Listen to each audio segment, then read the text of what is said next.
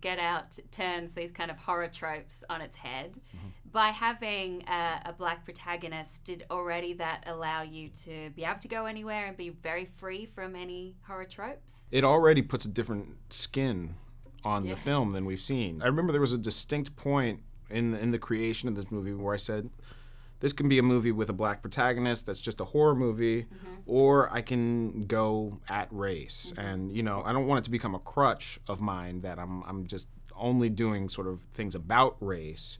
But I felt like this was something. This this was a movie that deserved to be made, and it was a missing piece of the genre. Mm-hmm. This is a very weird combination. This is uh, certainly a horror movie. It's an, an incredible thriller. It's a flat out comedy Yeah. in amazing uh, moments. Uh, and it's a really important social commentary. Yeah. You're hitting them uh, with a punchline, uh, you know, or with a hacksaw.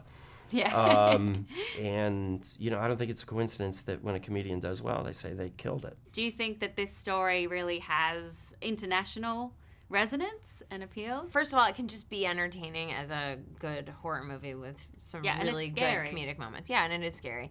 But then also, anyone who's ever felt like an other in a gathering of any kind, and that can mean whatever it means, can relate to it. So, why do you think horror and sci fi are places where you can talk about wider social issues? I think it makes the comments more palatable. Yeah. It kind of like I think you should say something directly. Some people don't hear Yeah, it, and so too you need to yeah you need to Yeah. you need to be able to arrive to it to your, by yourself and piece it together. This movie was made in the the pattern of Rosemary's Baby and the Stepford Wives. Yeah. Movies about the the about gender, about men making choices for women um, without their consent, and they're very entertaining. And they have these dark, twisted satires and reveals. Yeah.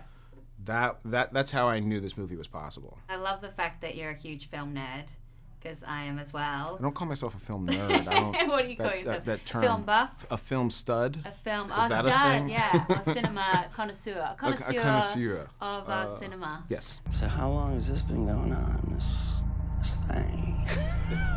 Apparently, a whole bunch of brothers been missing in this suburb.